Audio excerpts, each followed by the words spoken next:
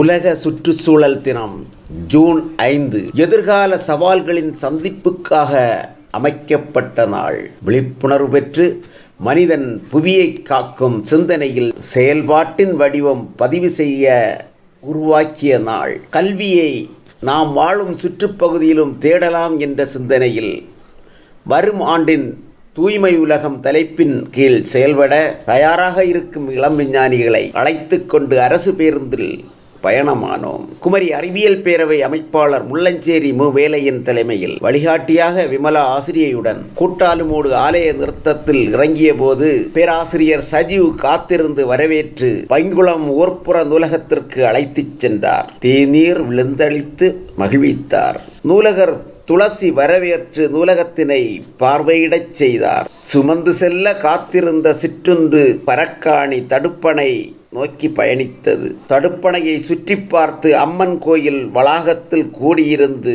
கருத்துருவாக்கம் செய்யப்பட்டது. பின்னர் நிறுத்தி வைக்கப்பட்ட விசைப்படகில் அமர்ந்து தடுப்பணை குறித்தான செய்திகளை விகாதிக்கப்பட்டது. குமரி மாவட்டத்தின் வளம் சேர்க்கும் தாமிரபரணி மூவாற்று முகத்திலிருந்து தேங்காப்பட்டணம் கடலில் சங்கமிக்கும் இடம் வரை அரிய பல சிறப்பு செய்கிறது. குளுத்துறை விழாத்துறை கடவு மங்காடு கடவு அஞ்சாலிக் கடவு கணபதியான் கடவு பருத்திக் கடவு மணலிக்கடவு என மக்கள் இரு திசைக்கும் பயணிக்கும் கடவுகள் அழகு சேர்க்கும் இடங்கள். நகராட்சிகள் பேரூராட்சிகள் ஊராட்சிகளுக்கு குடிநீர் வழங்கும் உரைக்கிணறுகள் ஆற்றின் நடுவே உள்ளன. ஏறக்குறைய எழுபத்தி ஒன்பது கிராமங்களின் நன்னீர் வளம் வழங்கி வருகிறது. ஆற்றின் இருமரங்கிலும் சுமார் ஐந்து கிலோமீட்டர் தூரத்தில் உள்ள பொது கிணறுகளுக்கும் வீட்டில் உள்ள ஆழ்குழாய் கிணறுகளுக்கும் உப்பு சுவையற்ற நன்னீர் வழங்கி வருவது இந்த தாமிரபரணி ஆற்று வளத்தினால்தான்.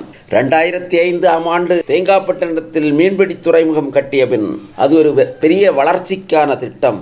படகுகள் நிறுத்தும் வசதிக்காக தாமிரபரணி ஆற்றில் பரக்காணி பகுதி வரை ஆழப்படுத்தியதால் கழிமுகத்தின் இயற்கை அரண் தகர்க்கப்பட்டு உப்பு நீர் ஆற்றில் கலக்கும் நிலை ஏற்பட்டது. போதாக்குறைக்கு கடவு பகுதிகளில் மணல் அள்ளும் நிலையில் குளத்தரை சப்பாத்து பாலம் வரையான ஆற்று நீர் உப்பு நீராக மாறியது. இதனால் சுற்றுப்பகுதியில் உள்ள ஆழ்குழாய் கிணறுகளில் உப்பு நீர் கசிவு ஏற்பட்டது.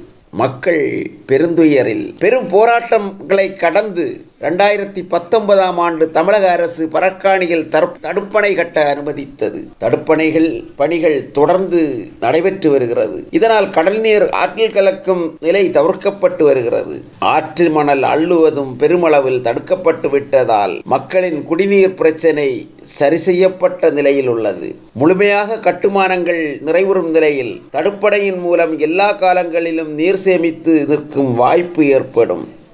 உப்பு நீர் கசிவும் பெருமளவு கட்டுப்பாட்டில் வரும். பரக்காணி முதல் தேங்காய்பட்டணம் வரை விசைப்படகுகள் செய்யும் தொழிற்கூடங்களும் படகுகள் நிறுத்தும் தளங்களாகவும் மாறியுள்ளன.